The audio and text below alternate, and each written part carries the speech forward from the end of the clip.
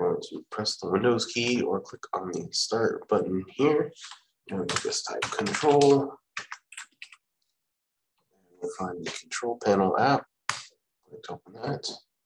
Control panel app in the top right. We'll click in the search bar and type print. And we'll find the devices and printers. Click to open that. And then we'll find our printer. Click on it and then right click to get printer properties. Printer properties window, we'll go to advanced and then down here to printing defaults. In the printer defaults window here, we can select our defaults.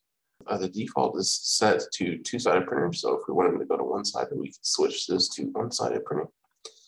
And if we wanted to go to just black and white, the default is auto, we can switch that to black and white here.